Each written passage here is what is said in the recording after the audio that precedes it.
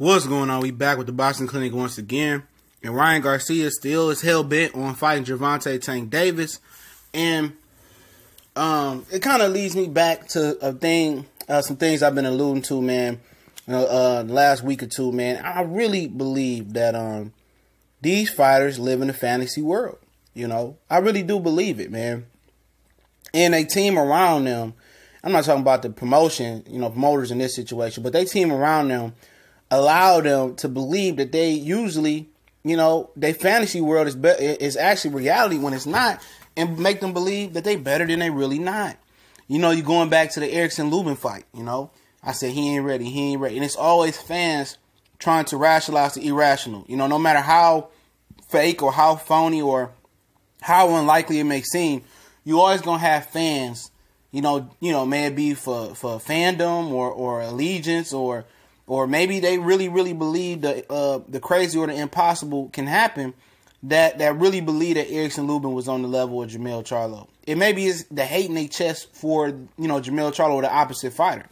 Maybe people believe that Ryan Garcia, even after watching last night, and that and that was that wasn't his best performance. Okay, he is stepping up a competition per se, but his last fight he looked the same fucking way. You know, the same deficiencies and flaws in his last fight, and and maybe people don't like Tank. But when I do videos, it ain't about who I like and who I don't like. I gotta pick the winner and keep it a buck, especially if you betting your money. Never bet with your heart, bet with your head. You know what I'm saying? And there's people out there that probably believe that Ryan Garcia can beat Tank Davis. You heard Joel Diaz, former trainer Timothy Bradley. I had the uh, pleasure of interviewing him before uh, with Big Cool from Colossal Sports TV. I'll go subscribe to Colossal Sports TV, by the way. He doing great work over there, you know and a really really good guy. Those the type of interviews that if I choose to really do interviews, I want to interview the trainers, the coaches, the cut men, and the older fighters. I don't want the young fighters. Okay, that's just my prerogative on that. But you know, he said that on the interview that he would bounce. I think it was Vilified Media. He had an interview with that Ryan Garcia will box with Dan circles around Gervonta Tank Davis, and he can't be real, man. He can't honestly believe that. And Garcia was standing next to him and maybe he's trying to boost the young man confidence up, but they gonna hype that kid up to go get get whooped on, man. They really gonna hype him up to to, to get his backside hand, handed to him.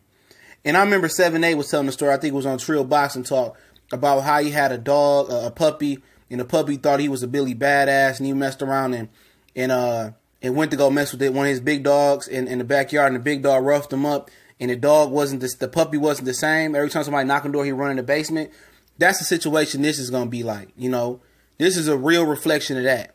You know, where they if they really let Ryan Garcia in that ring with Tank, he will never be the same fighter. It'll be a damaged commodity and another blow to Golden Boy.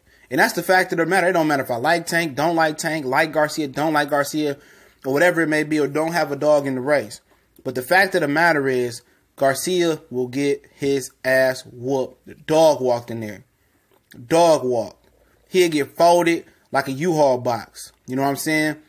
He will get folded. He will be permanently damaged. He'll be out of the sport of boxing in the community college or going to college doing something else. He ain't ready for Gervonta Tank Davis. He ain't ready for no real elite fighter at 130 or 135, whatever the hell he fighting at right now. He not ready for some of the guys on his level. He not ready for he not ready for uh, Col- little, uh Christopher Colbert. He not ready for Shakur Stevenson. You know what? He was struggling with a guy in Rolly who had only got four fights and probably didn't have that many fights the time they sparred. And you see how he looked on bounce like a few weeks ago. He didn't look really, really good. And he said in he said in this article, which I'll link it to the description from Boxing Scene, that you know he gonna just trust his team. But if it was up to him, he'll fight uh, Gervonta next or tomorrow, man. And I'm telling you, these dudes don't be real, man. And sometimes you gotta have that real person in your team that tell you, look, look here, whoop, whoop. Once you that once you that real person in today's day, you hating. Once you support somebody, you dick riding. Once you once you just don't like them, you got a valid reason. Well, you know, woo woo, I don't like the way you fight. Woo woo, you a hater. It's a lose lose situation, and it's probably the same way inside these teams. Teams be knowing the truth, but they really can't be real with these fighters. And these fighters live in these fantasy lives. They think they're big famous stars. They they they think they LeBron. They think they Jordan. They think they really famous, dog. They really do. And they believe they own hype. They think they hot shit. And it's not the case 90% of the time. It's not the case. Ryan Garcia said, I know where I need to work at. He need to work on it. If you his team being real with him, they need to bring in an advisor to help him work on his deficiency. Like, look here, this week we get this how we can help him.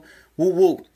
You know, if it's Oscar stepping in or Bernard Hopkins stepping in, showing showing them how how not to be so so damn defensive when the punches start coming, how to deal with the fire in the pocket, how to fight, fight stationary and still be hard to hit and still be effective and pick shots off.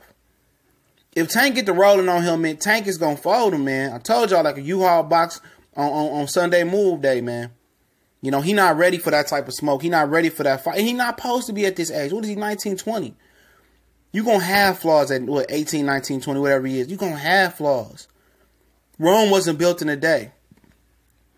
The greatest fighter of all time, Muhammad Ali, wasn't a polished product at 18, 19, 20 years old. Floyd Mayweather wasn't a polished athlete at that, at that age. No, nobody is a polished athlete. Lomachenko not a polished athlete. You know, you're going to have deficiencies. Don't move too fast. Don't move before you really ready to move. A lot of these guys want it so bad. You know, they want it so bad they want it now, but you ain't patience is a virtue. Wait. Develop your skills. Enjoy your first 20, 20 easy fights. If you need more beyond that, I told you Michael Nunn had 30 fights before in, uh, before he got his title shot. If it take a long time, look at Deontay Wilder. If it take a long time, it take a long time. Just make sure when your time come, you ready. Because guess what? A dude like Tank get the check your chin and knock you out. Guess what? You damaged forever. That that you wasn't ready, and sometimes you would never get back to where you once could once could have been if you would have just took the right time. So y'all know what it is, the Boxing Clinic and more. If you're interested in joining our streaming group slash boycott group slash classical fight streaming group, we'll be streaming Shawn Porter, Danny Garcia in that fight, and also Anthony Joshua Povetkin will be our next stream on Facebook and our Facebook group. The links in the description. You know, request to get in. I approve you right on in. One of my men's will. We on Facebook, Instagram, Twitter as well. We on social media, all of them. Check the links in the description as well. If you want to donate, the PayPal link is there as well. If you want to go live, and when we go live, you can donate through the super chat. Most, bless, most blessings to all the brothers that supporting us, sharing us on social media. Shout out to the whole LDBC. Y'all know what the business is. One time for the one time.